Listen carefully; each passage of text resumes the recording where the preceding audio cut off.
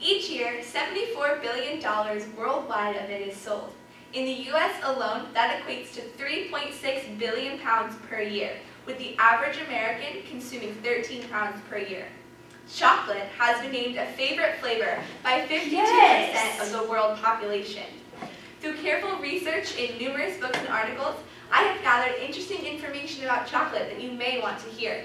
I will provide information about chocolate by discussing its history, how chocolate was made, and the surprising health benefits. At the end of my speech, I will also pass out some chocolate samples. Chocolate comes from the cacao tree, or the Theobroma cacao. It is found in tropical regions, primarily in the Amazon and Mexico. According to Carol Off, it grows in a band around the world hugging the equator and thriving only where there are perfect temperatures and plentiful moisture. Cacao pods have a thick pod wall lining the seeds, which are encased in a thick, slippery pulp.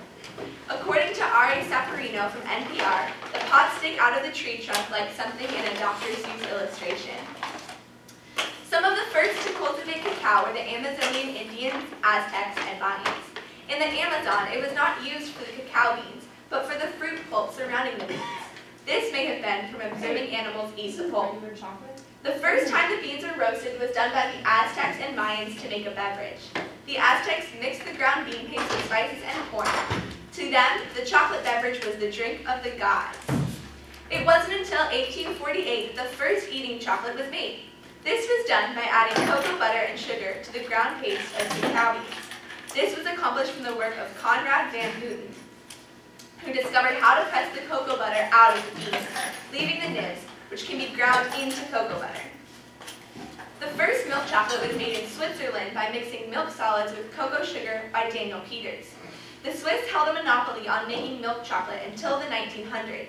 Today, they are the world leaders in chocolate, even keeping chocolate at the bank. According to the authors of the Book of Chocolate, the government advises to keep one year's worth of raw material in stock at all times. Now that we have a brief history of chocolate, let us move on to how it goes from cacao bean to chocolate tree. Chocolate is made by harvesting and by a harvesting and drying process that occurs at the cacao orchard. A machete is used to cut the mature pods from the tree. Workers collect the pods from their piles and are cracked open to remove the seeds. The fermentation process occurs next.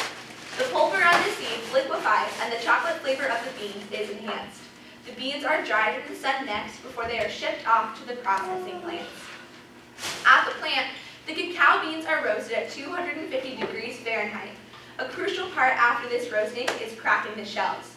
To accomplish this, the shells are blown away in a process called winnowing. The most important part of the cacao bean remains, the nib. This is what is used to create chocolate products. Chocolate liquor is produced from grinding the nibs of the cacao bean. Despite the name, this chocolate liquor does not contain any alcohol, but it is extremely bitter.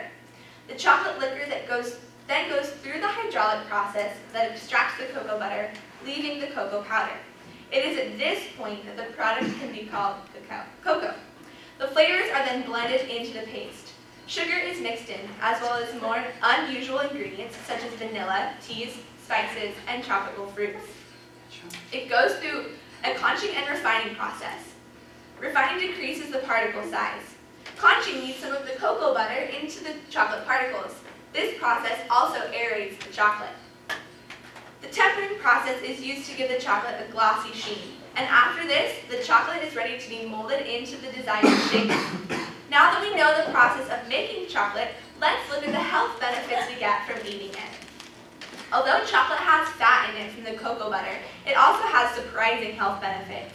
In addition to being a healthy fat, chocolate is rich in copper, iron, zinc, potassium, and phosphorus. According to Shara Aaron, chocolate actually accounts for 9.4% of the daily copper intake. Chocolate is full of antioxidants, which helps damage cancerous cells. They also improve cell functioning, allowing for better cognition, which studies are using to see if eating chocolate can actually help to improve memory. Flavonoids have health benefits for blood flow. They keep platelets from sticking to each other and starting blood clots. In conclusion, today I have given you more detailed information about chocolate. I have accomplished this by discussing its history, how it is made, the, and health benefits. From the words of Remus Lupin in Harry Potter and the Prisoner of Azkaban, speaking about our favorite comfort food, eat, you'll feel better. Where did the chocolate go? Okay, are there any questions? Yeah? Can I get some regular chocolate, like normal chocolate, not this dark stuff? I don't have any, I'm sorry. Oh. Thank you.